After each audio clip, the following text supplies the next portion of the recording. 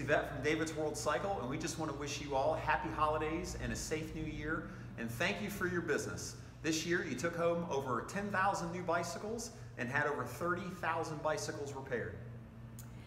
From our humble beginnings in College Park, Florida in 1989 to our newest location in Jacksonville, Florida, we couldn't have done it without you.